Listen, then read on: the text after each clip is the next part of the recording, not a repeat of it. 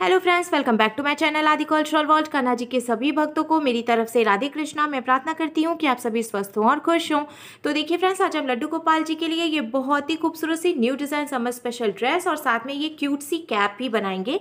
तो सबसे पहले मैं कान्हा जी को ये ड्रेस पहना कर दिखा देती हूँ। तो हमने देखिए यहाँ पर कान्हा जी को ले लिया है और ये जो नेक बनाया हमने, इसको हमें कान्हा जी के गले में इस तरीके से बहुत आसानी से डालना है। फिर आगे की तरफ़ से हमने ये डोरी लगाई हुई है। इसको हम ऐसे ले जाकर पीछे की तरफ़ बाँध देंगे। और हमें कान्हा जी को ये कैप भी पहना देनी है। तो देखिए फ्रेंड्स हमने लड्डू गोपाल जी को ये सुंदर सी पोशाक पहनाई है और आप देख सकते हैं कान्हा जी इस ड्रेस को पहनकर कितने अच्छे लग रहे हैं। इसका लुक भी बहुत अच्छा आया है। इस ड्रेस को बनाना बहुत आसान है। मैंने एकदम सिंपल तरीके से ये सुंदर सी ड्रेस बनाना बताया है। तो प्लीज़ वीडियो को लास्ट तक देखिएगा, जिससे कि आप भी बहुत आसानी से ये ड्रेस बनाकर कान्हा जी को पहना सकेंगे। अगर आप ड्रेस से रिलेटेड या फिर वीडियो से रिलेटेड कोई नॉलेज चाहते हैं या फिर कोई क्वेश्चन पूछना चाहते हैं तो मुझे मेरे इंस्टाग्राम पर पूछ सकते हैं। मेरा इंस्टाग्राम हैंडल है Aadi cultural world two six eight eight साथ ही साथ मुझे फॉलो भी करें। तो चलिए फ्रेंड्स अब हम ये बहुत ही खूबसूरत सी कान्हा जी की new design summer special dress बनाना शुरू करते हैं। इसके पहले अगर आपने अब तक मेरे चैनल को सब्सक्राइब नहीं किया है तो प्लीज़ मेरे चैनल को सब्सक्राइब कर लीजिए। साथ ही साथ बेलाइकन भी प्रेस करिए, जिससे मेरे आने वाली वीडियोज़ की नोटिफिकेशन आपको सबसे पहले मिले। ड्रेस बनाने के लिए हमने, देखिए, येलो कलर के कॉटन के फैब्रिक में से दो पीसेस कट कर लिए हैं। मैंने कॉटन का कपड़ा यूज़ किया है क्योंकि गर्मियों में कान्हा जी के लिए कॉटन का कपड़ा बहुत ज़्यादा आरामदायक रहता है। और मैं कोशिश करती हूँ कि कान्हा जी को गर्मियों में ज़्यादा से ज़्यादा कॉटन के कपड़े से बनी हुई ड्रेसेस ही पहनाऊँ, जिससे कि उन्हें आराम रहे। अगर आपके पास कॉटन का कपड़ा ना हो तो आप इसकी जगह पर टफेटा, सिल्क रेन कोई भी कपड़ा यूज़ करके बहुत आसानी से ये ड्रेस बनाकर कान्हा जी को पहना सकते हैं। अब मैं आपको इसका मेज़रमेंट बता देती हूँ। तो देखिए, इसकी यहाँ से यहाँ तक की जो टोटल लंबाई है, वो मैंने सेवन इंचेस यानी कि सात इंच रखी है और इसकी जो चौड़ाई है, वो मैंने ढाई इंच यानी कि टू पॉइंट फाइव इंच रखी है। दोनों ही पीसेस का मेज़रमेंट मैंने एकदम बराबर रखा है। अब देखिए, हम इसको एक के ऊपर एक रखेंगे। इस तरीके से एकदम बराबर करते हुए, बराबर करके रखने के बाद अब हम इसको ऐसे सीधा कर लेंगे। सीधा करने के बाद हमें देखिए, एक बार और इसको ऐसे फोल्ड करना है। फोल्ड करने के बाद अब ऊपर से देखिए ये फोल्डेड वाली साइड है और नीचे की तरफ़ से ये ओपन वाली साइड है। तो जो फोल्डेड वाली साइड है, यहाँ से हमें इसको मेज़र करना है।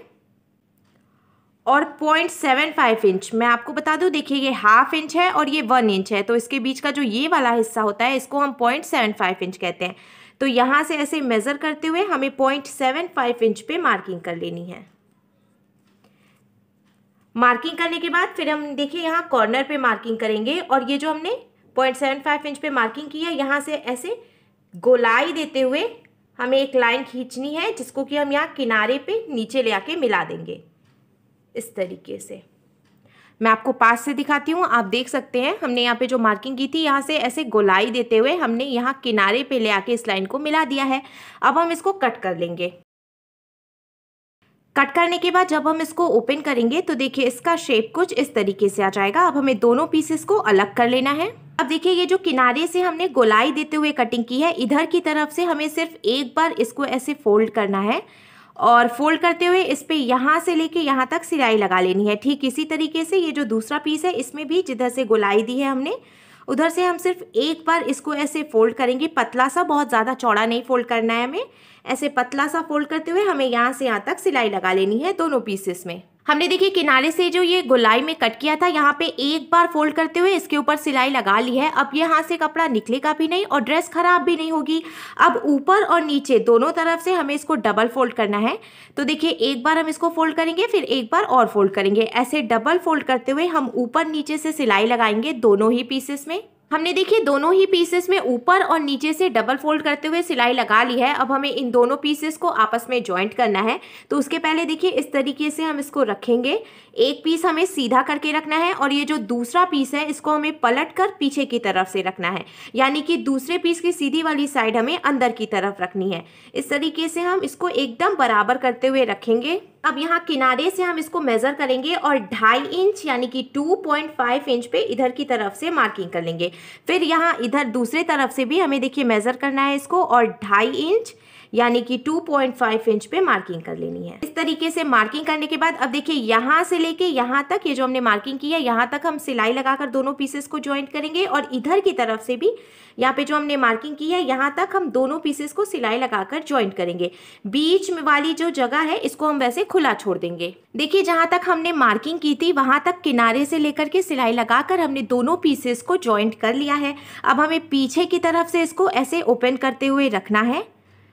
फिर ये जो हमने बीच में सिलाई लगाई थी ना तो जो कपड़ा है एक्स्ट्रा इसको हम ऐसे फैला लेंगे। फैलाने के बाद अब हमें यहाँ से सिलाई लगानी है। ये चीज़ हम ध्यान रखेंगे। ये जो कपड़ा हमने फोल्ड किया है, इसके ऊपर रखते हुए और ऐसे हम सिलाई लगाकर इसको चारों तरफ़ से ज्वाइंट कर लेंगे। हमने देखिए, चारों तरफ़ से कपड़े को फोल्ड करके और इसके ऊपर सिलाई भी लगा ली है। अब आप देख सकते हैं, आगे की तरफ़ से इसमें कितनी अच्छी फिनिशिंग आई है। और बीच में हमने जो इसको खुला छोड़ा था, वो कान्हा जी के लिए नेक बन गया है। अब हम इसमें लेस लगाएँगे तो मैंने ये व्हाइट कलर की पॉम्पम लेस ले ली है। आप देख सकते हैं, ये कितनी सुंदर लेस है और मार्केट में बहुत ही ईजिली मिल जाती है। मुझे येलो कलर के साथ व्हाइट कलर का कॉम्बिनेशन बहुत अच्छा लगता है तो इसीलिए मैं ये व्हाइट कलर की लेस यूज़ कर रही हूँ। अगर आपके पास इसमें की लेस नहीं हो तो आप कोई भी दूसरी व्हाइट कलर की लेस यूज़ कर सकते हैं, या फिर आप जिस भी कलर के फैब्रिक से ये ड्रेस बना रहे हैं, उससे मैचिंग की लेस यूज़ कर लें। अब देखिए, हम इसको यहाँ किनारे से रखेंगे और ऐसे चारों तरफ़ से ये लेस लगा लेंगे। साथ ही साथ ये जो हमने देखिए कान्हा जी के लिए नेक बनाया है ना, इस पर भी हमें यहाँ से ऐसे चारों तरफ़ से लेस लगानी है। हमने देखिए चारों तरफ़ से लेस लगा ली है और इसके साथ ही साथ हमने गले पे भी लेस लगा ली है। अब ड्रेस का लुक कुछ इस तरीके से आ जाएगा। अब हमें इसमें डोरी लगानी है तो हमें ड्रेस को पलटकर पीछे की तरफ़ से रखना है। और देखिए मैंने ये गोल्डन कलर की रेडीमेड डोरी ले ली है। अगर आपके पास इसमें की डोरी नहीं हो तो आप खुद से डोरी बनाकर भी यूज़ कर सकते हैं। अब ये जो हमने नेक बनाया था ना, कान्हा जी का इससे आधा इंच नीचे हमें डोरी लगानी है। तो देखिए, इस तरीके से हम यहाँ पे डोरी रखेंगे। एकदम बराबर करते हुए हमें रखना है दोनों ही तरफ़ से। हम बराबर डोरी छोड़ देंगे।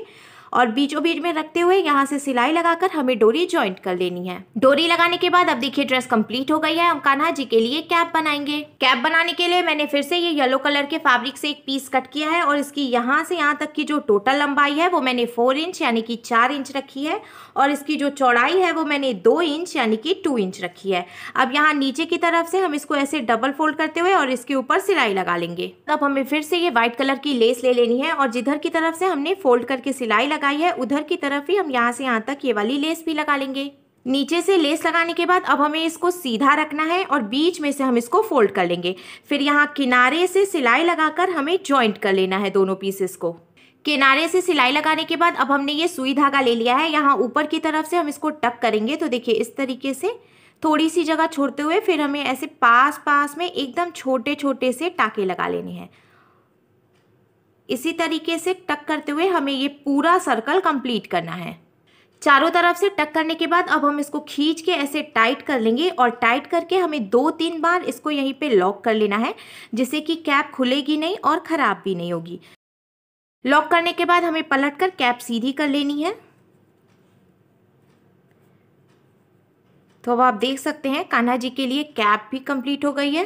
तो देखिए फ्रेंड्स हमारे लड्डू गोपाल जी के लिए बहुत ही खूबसूरत सी new design summer special dress और ये कैप बनकर बिल्कुल तैयार है और इसको बनाना भी बहुत आसान है।